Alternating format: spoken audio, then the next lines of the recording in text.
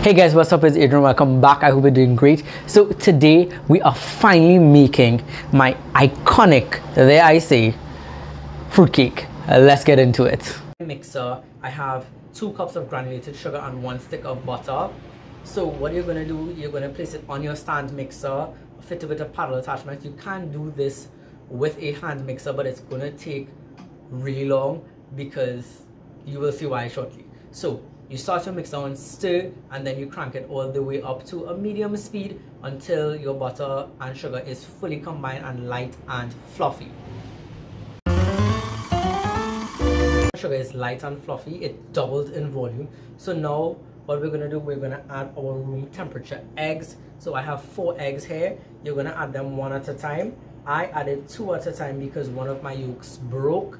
So the reason for having room temperature eggs is that you don't want your batter to break. You want everything to be one temperature. If, again, your eggs are not at room temperature, you can warm some water up, place that warm water in a bowl and place your eggs in it. Not extremely boiling water because you don't want to cook your eggs, but that should bring your eggs up to room temperature within five to eight minutes. So add your eggs in one at a time and beat that until it's fully incorporated and you can't see any egg left. And then you repeat you repeat until all your eggs have been combined. So before you add your eggs what i recommend you doing is preheat your oven at 350 degrees. That way when you are finished combining everything your oven is perfectly ready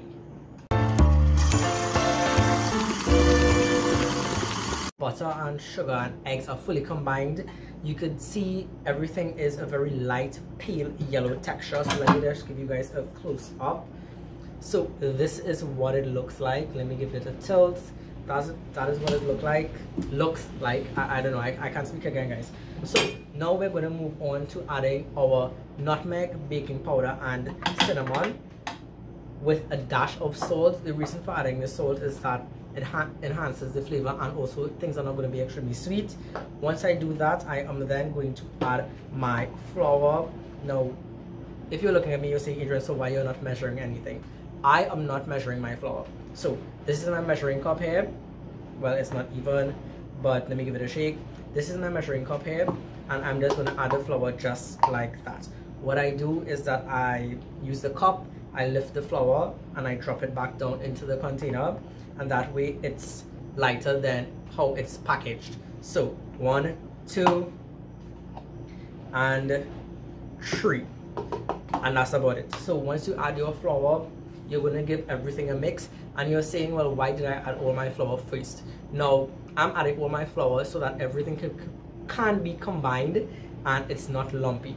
You will say but wait we are going to get too much gluten development. That's actually not true. So i'm gonna give this a mix and give you guys a close up on what it looks like because you can't over mix but in this instance it is just okay to add everything at once into the flour that is. So lift my mixer up and i'm to start on a very low speed until everything is fully combined. One thing guys that i did not mention earlier please scrape the bottom and side of your bowl each time you start and stop your mixer. Reason being for that is that you want everything to combine evenly. It just makes things a whole lot easier in the long run because if you don't do that, at the ending, when you are pouring your batter out to bake, you're going to see at the bottom nothing was combined. So with that being said, I am now going to add the rest of my ingredients in terms of wet. So I'm going to add a dash of bitters. You can omit this, but I just think it tastes really great. Again, I'm gonna add vanilla essence. Remember, this is something that we use in Trinidad for cakes, pastries, that sort of thing. It just, I don't know, it, it just works, it just works. Um, add vanilla extract. I am not adding vanilla extract because I want the fruit to actually be the star of the show. So now that I've added this, I'm just gonna give it a stir for it to be combined and then we're going to add our fruit and add our browning and that's it. Time my vanilla essence, bitters and everything else is basically combined. What we're going to do now, we're going to add our fruits that we made if you haven't seen that video yet it's going to be linked in the description below i showed you guys how i make my christmas fruits what special ingredients i add there because it's not your typical soaked fruit for this fruit cake we're doing the best. So i have my fruit measured out here. Let me give you guys a close-up because it looks awesome. Um yeah so i'm gonna pour all of this inside of here. And I'm gonna leave just a little bit because I mean I'm gonna fold that in at the end. You don't have to do that step. You can just pour everything in now. So another thing I'm gonna do I'm gonna measure my browning for my fruit cake um this is flour that is from this I just didn't wash it because whatever so I'm gonna crank this up here and I'm to start this in a very slow speed on stir and I'm to pour my browning in. So you're to ask me, Adrian, what is browning? So browning is something that we use for fruit cakes for to get its really rich and beautiful dark brown color. Our fruit cake that we're making is going to have a brown and red hue from our amazing fruits that we added so much cherry brandy in and our secret ingredient dried cranberries. So browning is basically sugar. Um for example if you're from trinidad and you're making stewed chicken you know you burn your brown sugar at the bottom of your pot and then you add a chicken and so forth. So it's something like that. But if you don't know what that is browning is basically burnt brown sugar you can make this at home but i think it could go so wrong if you do that if you don't know what you're doing. So I just purchased my browning from the store. So you add your browning in, you add your fruits in, and we're going to stir everything together until it's fully combined.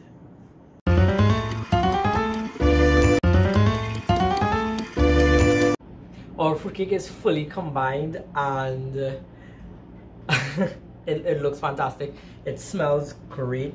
Again, please, please, please scrape the sides and the bottom of your bowl it looks honestly fantastic it's a beautiful beautiful bronzy gold brown color it just looks round of applause to me round of applause for you for doing such a great job so what are you're gonna do um this should make two nine inch cakes i prefer a thicker fruit cake i don't like thin slices of fruit cake i prefer a thicker cake so two 9 inch cakes, be sure to butter and flour your pans. I've showed you how to do this many times before. If you don't know, I'm sure it's in one of my other baking videos. Check it out. So what you're gonna do, you can take a measuring cup and pour it into your baking pans and put them in the oven that is already preheated. This is going to take a lot of time to bake. Please don't rush it. This is not a cake that is going to raise a lot because again I prefer a dense fruit cake as well so this this this this should bake for approximately two and a half hours I know that's a lot of time but you don't want it to burn. Because remember we added browning into this and that is already bitter and dark so you don't want it to burn. You want something that comes out extremely delicious and fragrant.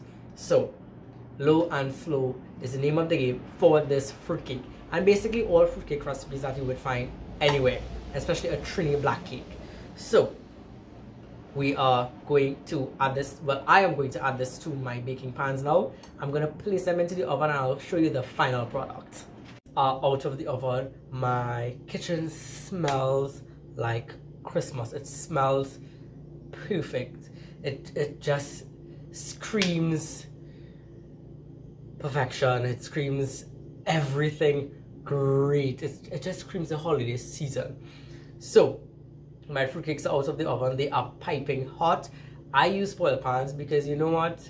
You can just throw them away afterwards and they have lids. So that's a tip if you just don't want to dirty any more dishes. So as soon as your fruitcakes are out of the oven, you are then going to top it with more cherry brandy. Now, you're gonna say, but it's hot. Yes, yes, it's hot, but the cake is most is the most tender when it's at this temperature. So you are then going to soak it as soon as it comes out of the oven. you can soak it with white rum and cherry brandy the same mixture that you would have used to soak your fruits that video will be linked in the description below again if you haven't seen it yet so i use cherry brandy only but as i said you can use the white rum and cherry brandy mixture so once you do that you are then going to leave your fruit cakes to become cold because you know what? You can't have hot fruit cake and furthermore don't cut your cake when it's hot. Allow it to cool for around i would say eight hours. I know that's a long time to wait guys but you gotta do what you gotta do because you know what? It's gonna be worth it in the end. So that's about it. Um, i'm gonna show you a few close-up shots and i'm gonna show you what a slice look like and then i'm gonna taste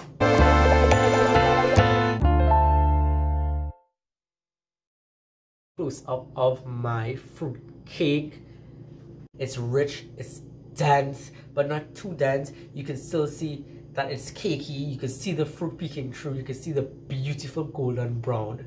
So let's taste.